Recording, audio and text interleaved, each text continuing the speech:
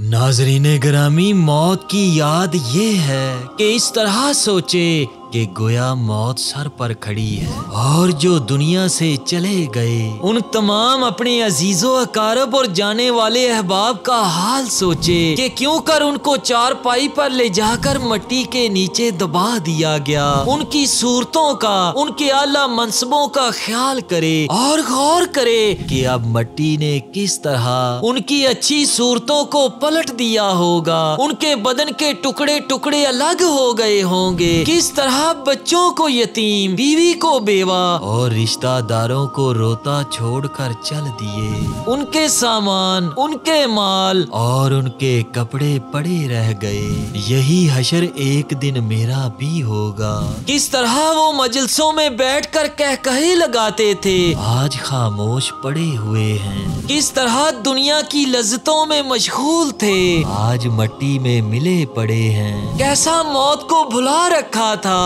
आज उसका शिकार हो गए। किस तरह जवानी के नशे में थे? आज हाथ अलग पड़ा है पाँव अलग पड़ा है ज़ुबान को कीड़े चिमट रहे हैं बदन में कीड़े पड़ गए होंगे। क्या खिलखिला कर हँसते थे? आज दांत गिरे पड़े होंगे। कैसी कैसी तदबीरें सोचते थे बरसों के सामान सोचते थे। हालाँकि मौत सर पर थी मरने का दिन करीब था मगर उन्हें मालूम नहीं था कि आज रात को मैं नहीं होऊँगा। यही हाल मेरा है। आज मैं इतने इंतज़ाम कर रहा हूँ। कल की खबर नहीं। क्या होगा? मौत कैसी होगी? किस तरह होगी? कफन नसीब होगा या नहीं? कबर की मट्टी नसीब होगी या नहीं? और सबसे ज़्यादा चौंका देने वाली बात कि कबर का इम्तहान कैसा होगा? क्या उसमें कामयाबी होगी या नहीं? प्यारे दोस्तों, कबर में जाने के बाद क्या होगा? कबर के अंदर के मामलात क्या होंगे? ऐसा ही इबरत अंगेज और सबक आमोज बयान इस वीडियो में पेश करने लगा हूँ। ताकि हम सबको इबरत हासिल हो और हम कबर के इम्तहान की तैयारी करने वाले बन जाएँ। वीडियो का आगाज़ करता हूँ।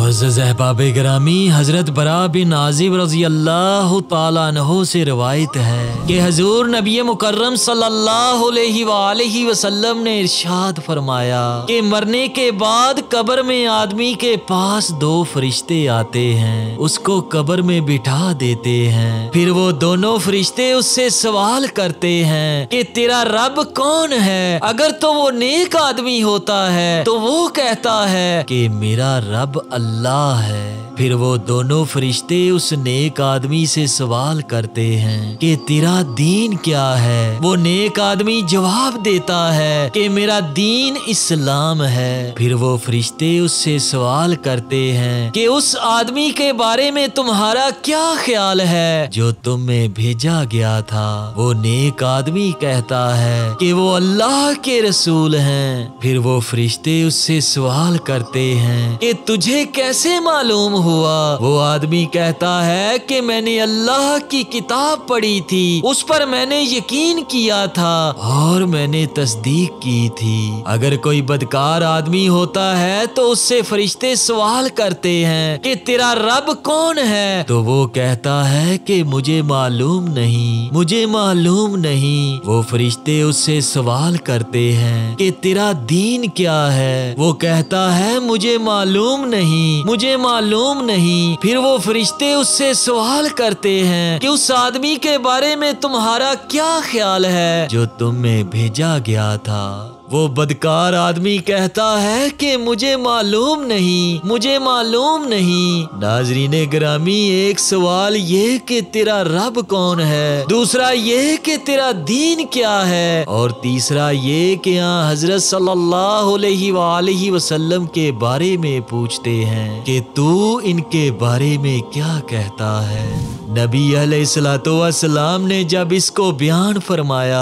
तो हज़रत उम्र फारूक रज़ी अल्लाह ने पूछा यार अल्लाह सल्लल्लाहु अलैहि वसल्लम, मरने के बाद जिस वक़्त फरिश्ते ये सवाल कर रहे होंगे, उस वक़्त हमारे होशो हवास कैसे होंगे?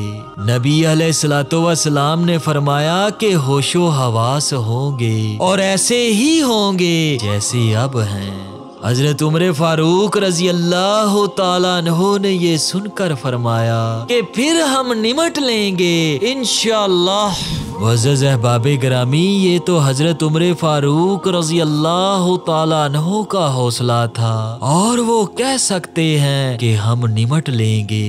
मगर सोचिए कि जहाँ कोई गम खुआर कोई मददगार नहीं होगा, कोई तलकीन करने वाला नहीं होगा, और ना ही कोई समझाने वाला होगा। वहाँ वो उन सवालों का जवाब कैसे दे सकेगा? हाँ अगर अल्लाह ताला की तौफीक हुई, अल्लाह ताला ने दस्तगीरी की। तो फिर वो उन सवालों का सही सही जवाब देगा और कहेगा कि मेरा रब अल्लाह है, इसलिए कि उसका दुनिया में यकीन बना हुआ था कि अल्लाह ताला मेरा रब है। वहाँ झूठ तो चलेगा नहीं, सच पर ही वहाँ निजात होगी और झूठ पर निजात नहीं होगी। जजाकल्लाहुम खैरन कसीरा। अल्लाह ताला से दुआ करता हूँ कि अल्लाह पाक अपने फजल से ही हम सब का खात्मा बिल खैर फरमाए और हम सबको अजाब कबर से महफूज फरमाए और इम्तहान कबर के वक़्त हम सब की मदद फरमाए। आमीन, सुम्मा, आमीन।